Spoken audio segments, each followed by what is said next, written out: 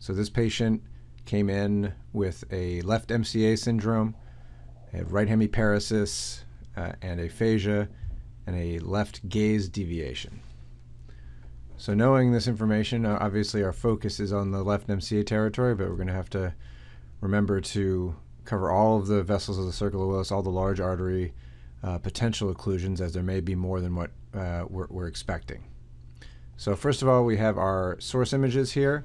We have our uh, reconstructed thick MIP axial image and our reconstructed thick MIP coronal image.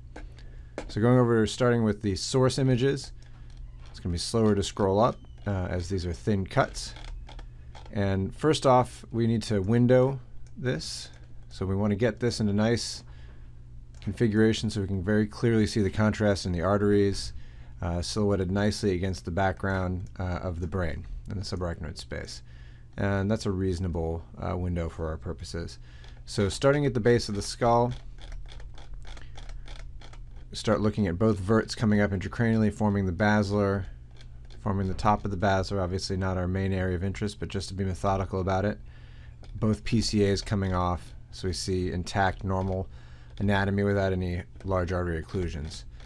Uh, now, just for the sake of completeness, again, let's start with uh, the opposite side from where we think the occlusion is probably going to be. So let's look at the right uh, internal carotid petrous portion coming up into the siphon, and then the top of the carotid, carotid terminus here,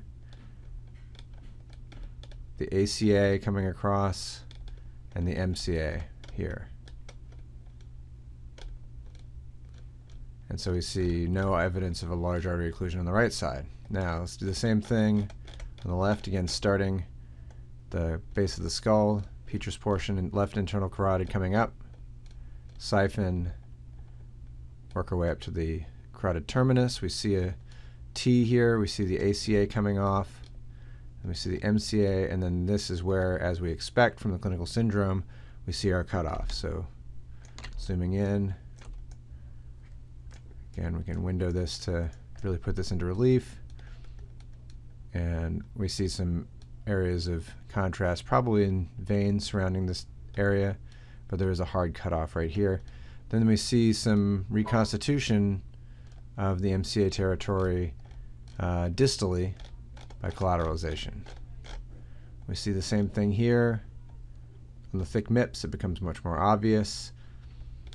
See that hard stop to the left M1 segment, proximal MCA stem, and then reconstitution of the distal branches with a clot occupying this uh, space not filled with contrast.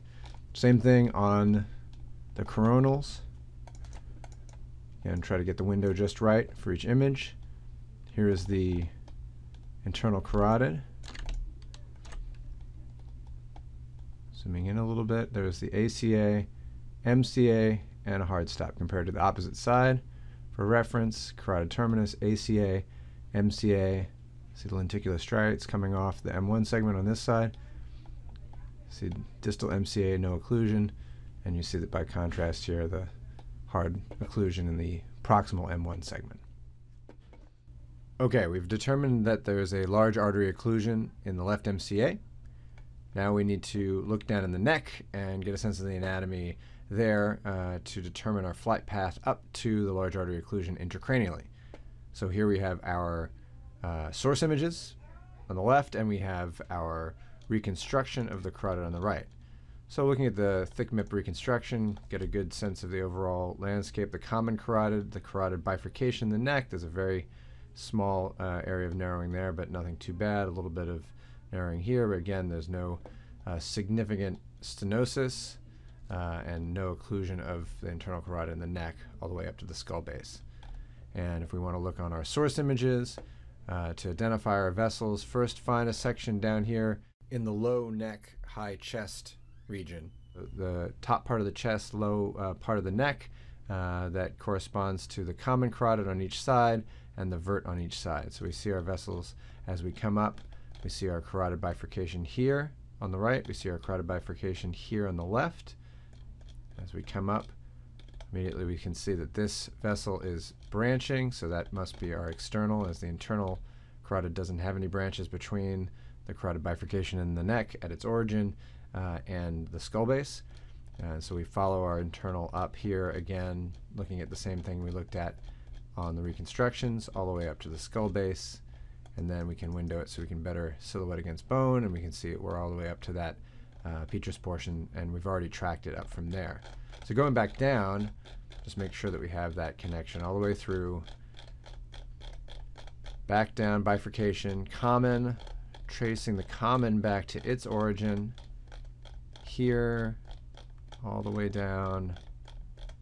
Have a little bit of artifact there, but still no evidence of any stenoses. And then the origin uh, at the arch. So there we have a clear flight path up from uh, the aortic arch all the way up to uh, the large artery occlusion in the left M1.